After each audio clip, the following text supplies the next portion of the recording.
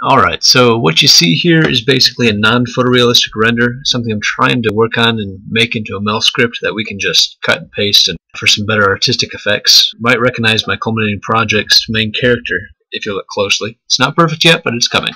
Uh, let me know what you think.